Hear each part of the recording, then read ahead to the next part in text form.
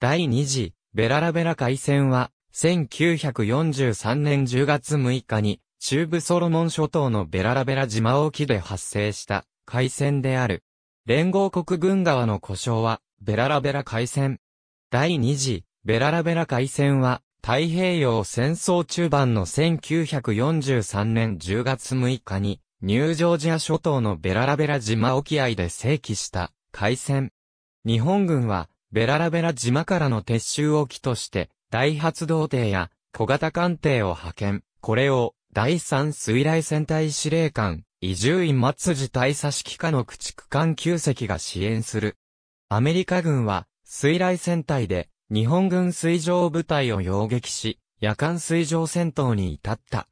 日本側は、駆逐艦遊雲が沈没し、アメリカ側は、駆逐艦1隻が沈没し2隻が大破した。日本軍の撤退作戦は成功し、海戦は日本の勝利で終わった。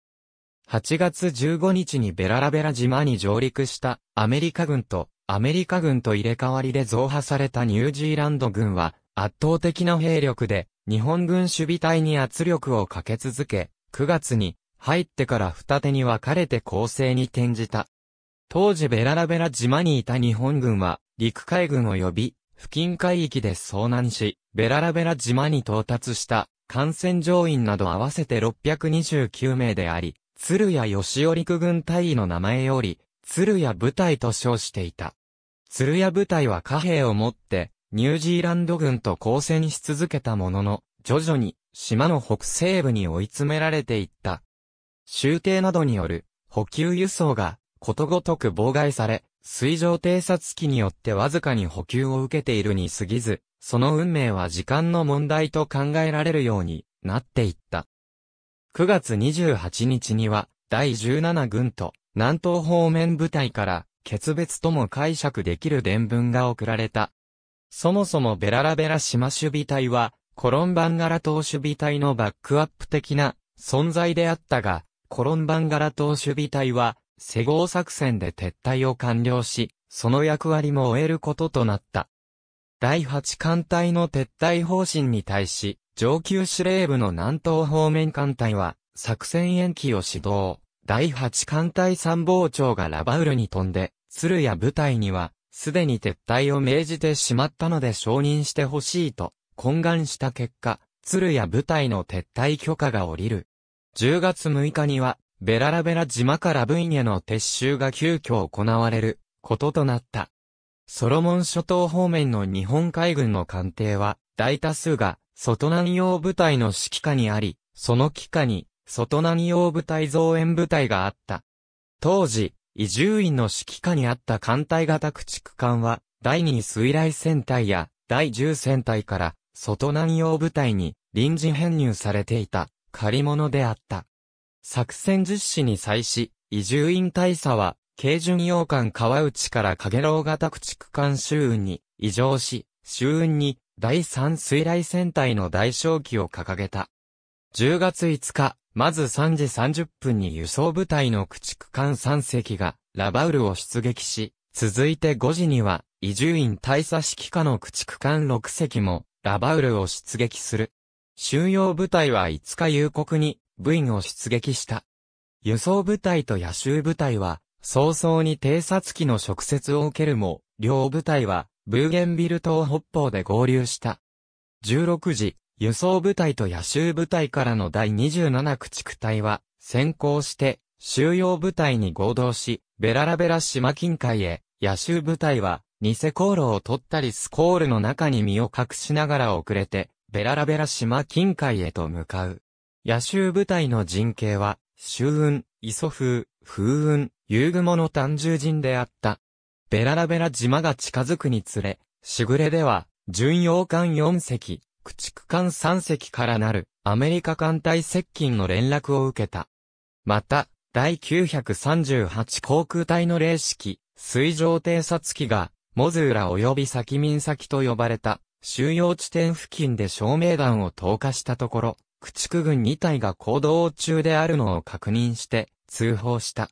移住員大佐は輸送部隊に一時退避を命じるが、速力の遅い収容部隊はもはや退避が間に合わず、収容予定地点に直進させた。また、対27駆逐隊にも第一野州部隊への合同を命じ、しぐれは小風に戦団護衛を依頼すると野州部隊と合流するため、行動を開始した。一方、偵察機プビー、カタリナ飛行艇からの報告を受けた第三艦隊では、迎撃のため、ウォーカー大佐率いる第四駆逐部隊からの駆逐艦3隻をベララベラ、島近海へと急行させた。米軍の航空攻撃は悪天候のため実施されず、またウォーカー隊の駆逐艦3隻と、増援の駆逐艦3隻とは、距離が開いていた。その頃、ベララベラ島守備隊は、モズーラ及び先民先に集結し、ニュージーランド軍の砲撃に耐えつつ、収容部隊の到着を待っていた。20時31分、ウォーカー隊はレーダーで2つの目標を探知。4分後の20時35分には、風雲が巡洋艦3隻を発見した。第27駆逐隊も20時40分には敵影を確認する。機関の秋雲でもウォーカー隊を発見していたものの、移住員大佐は、乗組員の報告を信用しなかったという。第三水雷戦隊の専任参謀は、味方の間違いではないかと問いただした。周雲駆逐艦長相馬将兵中佐は、周囲からの情報と自らの目で確認した後、移住員大佐に、司令官、敵ではありませんかと助言し終えた瞬間、ウォーカー隊からの先制攻撃を受けた。ウォーカー隊は20時55分に砲撃を開始し、同時に魚雷14本を発射した。先制攻撃を受けた野手部隊は、夕雲が魚雷を8本発射し、続いて、面舵で右に進路をとって、周雲と共に砲撃を開始する。しかし間もなく夕雲は、ウォーカー隊からの集中砲火により、火災を起こした。炎上した夕雲は、米艦隊からの絶好の目標になってしまった。21時1分、夕雲からの魚雷は、ウォーカー隊に達し、シャバリアに命中する。シャバリアの後方にいたオバノンは、ひかみなりしたシャバリアを避けきれず追突し、艦首を大破した。オバノンは、シャバリアから離れた後、シャバリア乗員の救助作業に取り掛かる。21時5分、夕雲に魚雷が命中し、これが止めとなって21時10分に沈没した。この頃には、第27駆逐隊も戦場に到着し、21時1分、前後に、核艦魚雷8本を発射した。続いて、砲撃を開始し、三星射発砲をした瞬間、先に発射した魚雷のうち1本が、ウォーカー隊の機関セルフリッジに命中する。セルフリッジは、艦首が垂れ下がって10ノットの速力で戦場から退却していった。周雲は、磯風と風雲を率いて引き返し、距離約8000メートルに彼方で停止中のシャバリアとオバノンに対して魚雷を発射したものの命中しなかった。その後、視界が不良となって21時39分に戦闘を打ち切って戦場から離脱した。第27駆逐隊司令、原為一大佐は、駆逐艦しぐれに、もし伝弾があれば、ウォーカー部隊は3隻とも、ただでは済まさなかったであろうにと回想している。10月7日8時30分、野州部隊は、ラバウルに帰投した。日本側は、魚雷48本を発射したが、命中したのは2本だけだった。第3艦隊は、偵察機からの報告によりウォーカー隊の3隻では、少なすぎると考えており、ニュージョージア島向けの輸送船団を護衛していた第42駆逐軍にも戦場に急行するよう命じていた。夕雲の大火災がよく見えていたほど戦場に接近していたが、ついに戦闘には間に合わなかった。その代わり、瀕死のシャバリアをラバレットの魚雷で処分し、大破したセルフリッジからウォーカー大佐をテーラーに移動させた。またレンドバ島より魚雷艇4隻が出動した。海戦が終わった直後の22時、収容部隊はモズーラに到着し、23時50分から収容を開始。3往復した後、10月7日1時10分には、モズーラを離れて、部員に向かい、8時に帰島。ベララベラ島守備隊はここで解散して、それぞれの現隊へと戻っていった。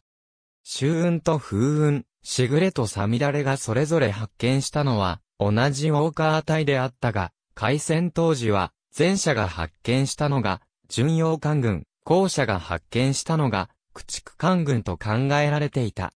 一つの駆逐軍を別々に攻撃した結果、戦火は、本体により、巡洋艦、または、大型駆逐艦2隻、撃沈、27× により、駆逐艦3隻撃沈と判定された。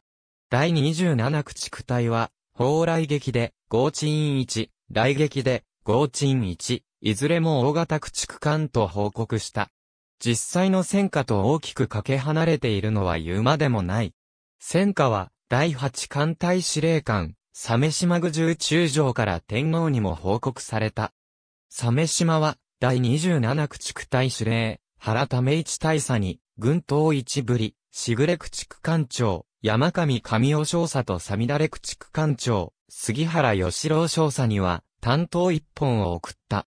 遊雲の生存者は、一部は、連土場島からやってきた、魚雷艇に救助されたが、一人の遊雲乗員が艇、上で乱闘を起こした末に見張り兵を殺害したため、復讐の意味で皆殺しにされた。他方、機関部員を中心とする25名は途中、アメリカ軍が放置していった内科艇を分取った。やがて魚雷艇が接近して異常するよう命じられる。遊雲生存者が拒否すると、アメリカ軍魚雷艇は、遊雲生存者分の食料と飲料水を内科艇の甲板に置いて去っていった。内科艇は1日半経ってから部員に到着し、鮫島中将に、遊雲は、行方不明、全滅と聞いたが、敵のボートを分取って帰るとは、よくやった。ご苦労と称賛された。太平洋艦隊司令長官チェスターニミッツ元帥は、後年、ウォーカー隊の敗因として、ウォーカー大佐が雷撃を回避する運動を行わず、射撃効果を上げるために体型と進路を維持し続けたことを挙げている。